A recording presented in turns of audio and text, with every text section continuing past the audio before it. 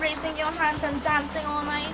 Or are you just feeling insecure about going into public with anything that's basically sleeveless? What's? Welcome back to my channel. Today I have a video where I, where I comprise 7 tips that will help you get rid of that odor problem under these arms and that will help you lighten your underarms over time. And I have been struggling with under, dark underarms for like a really really long time. I didn't want to do this video because it was really really bad. It still is pretty bad but it has been lightening up by using these tips so I wanted to make this video make this video to share these tips with you guys. I hope you all enjoy it.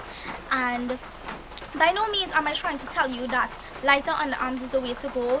If you have dark underarms and you are confident with it then rock it all the way girl. But if i'm just i just have these tips to make that will help you make feel more confident about yourself.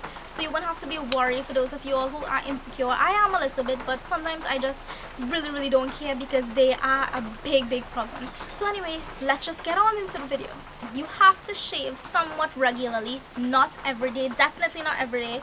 Somewhat uh, maybe like two to three times a, a week most most likely two times a week. Because the hair on the when you have hair on your arms it actually makes your arm look darker. Plus what helps what keeps in the odor there is that the hairs actually keep that bacteria locked into it so that um, the odor doesn't really go away if you don't shave plus if you shave every single day like regularly as soon as you feel that little stubble your arms will actually get darker shaving more often. So you have to have to shave somewhat you know moderately so that the odor doesn't build up there all that bacteria it doesn't look dark neither does it get darker while continuously shaving Using an all natural deodorant really really does help because I have been suffering with a serious hygiene issue and using this really did help me to keep down my odor. These ingredients are so so natural cornstarch, baking soda, lavender tea tree oil and coconut oil. You could use any essential oil if you want once you get if you want a scent but the coconut oil is something that you must put.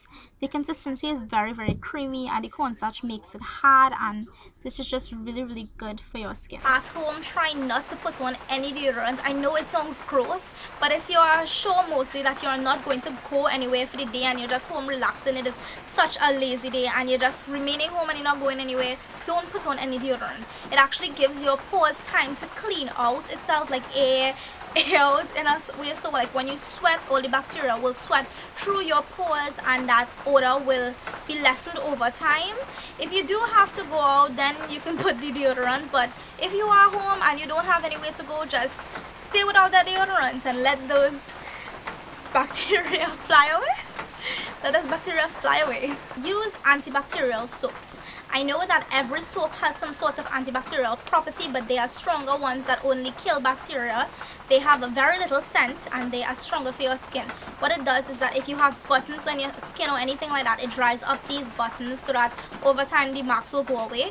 Plus, if you, it just literally kills the bacteria. So if when you bathe with this soap, any other sort of scent that you have, it literally just kills the scent. Because I know I have such a high hygiene problem, uh, serious hygiene problem, that I would use normal soaps and then when I come out of the bathroom, I am still like, I literally have to run back in the bathroom and keep scrubbing because the scent just doesn't go. But this antibacterial soap really does help me. An example is Carbolic soap and Dettol soap. Those are the soaps that you will find in Trinidad. For my US subscribers, I will put a link in the description bar of alternative soaps that you could use uh, that, uh, that are antibacterial and you cannot use these soaps every day because it does dry out your skin so you will have to use it probably like two to three times a week the shower always make sure that you scrub off all of the old deodorants before you put on new deodorant because if you have that buildup of old deodorant mixing with new deodorant sometime during the day you're gonna be like whew, that you cannot believe that is going to be you. Plus when you are finished bathing um, make sure that your arms are dry before putting on deodorant, deodorant because if they aren't dry the deodorant is not going to stick to your arm and you will have a stench during the day use cocoa butter two to three times a week at night not every day because it is a cream and it um, really seeps into your skin. If it doesn't get time to wash off properly it will clog your pores and it will give you an even higher scent. This cocoa butter really really does help to get rid of the marks and this is a really really nice creamy consistency. It does not get hard like natural cocoa butter and i use um, palmer's cocoa butter and it really really has been helping me get rid of the marks on my skin. Another thing that you could do is you actually use potatoes yes potatoes you could peel it cut it um cut it into different uh, cut it in some wedges. And the juice from the potato or the liquid the potato just take the potato and rub it on your skin wherever you you can use this anywhere on your body wherever you have marks. Especially under your arms because this video is about underarms you could um rub it there and leave it like keep rubbing it until you feel that sort of potatoey liquid.